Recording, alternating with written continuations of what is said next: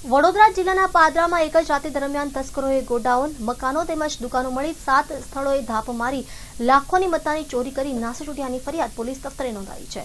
છેલ્લા કેટલાક સમયથી પાદરામાં ગુનાખોરીએ માજા મૂકી છે અને ગુનેગારોમાં જાણે પોલીસનો કોઈ ડર રહ્યો નથી તે રીતે એક પછી એક ગુનાને અંજામ આપી રહ્યા છે.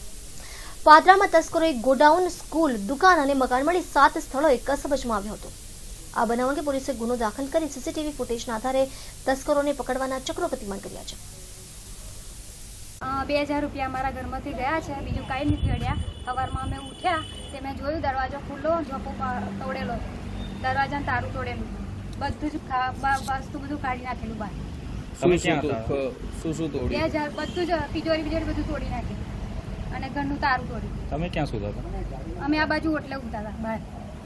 સવારમાં છ વાગે ઉઠી તમે જોયું કે પછી હું અંદર બહાર અને પછી મેં મારા ઘરવાળાને બોલાવી. હથિયારો લઈને બધા આવ્યા હતા બે ચોર. હવે મારા મજૂરો ઉપર એ ફેમિલી હાથે રહ્યા છે. હવે એમને મારી દીધા હોત તો બધું મારું ઉપર જ આવત ને. એટલે પોલીસવાળાને એટલી જણાવું છું કે અહીં પેટ્રોલિંગ વધારે અને એની દેખરેખ રાખે. ખાસ કરીને આખી ઘટના કેવી રીતના બની? રાતે બે અઢી ત્રણ વાગે અંદર એન્ટ્રી મારી. અંદર બે જણા પ્રવેશે હથિયારો લઈને દુકાન ગ્રીલ તોડીને પતરા અંદરથી એન્ટ્રી મારીને દુકાનની ગ્રીલ તોડીને અંદરથી પૈસા બધા લઈને અહીં અંદર ફેરી પણ કરી બે ત્રણ ફેરી પણ કરી. આખી ચોરી કેટલા કલાક ચાલીને તમારે ત્યાંથી કેટલું ગયું છે? દોઢ કલાક જેવું એ લોકો અંદર રહ્યા દુકાનમાં.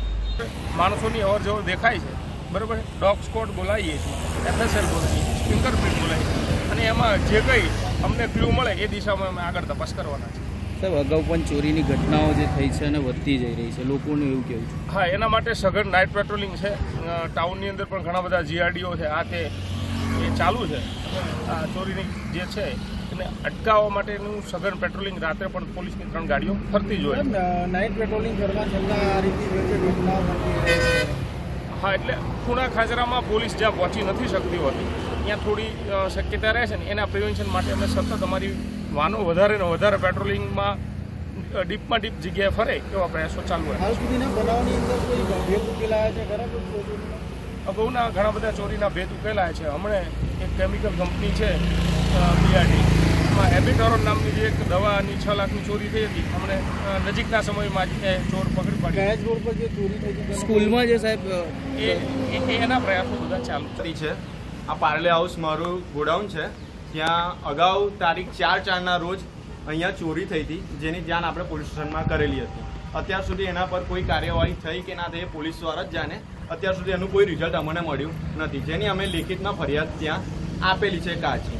હવે અત્યારે આજે સવારે અમારે અહીંયા નજીકમાં ખોડિયાર સ્ટીલ છે. ત્યાંથી રોહિતભાઈ કરીને છે. એમનો મારા પર કોલ આવ્યો.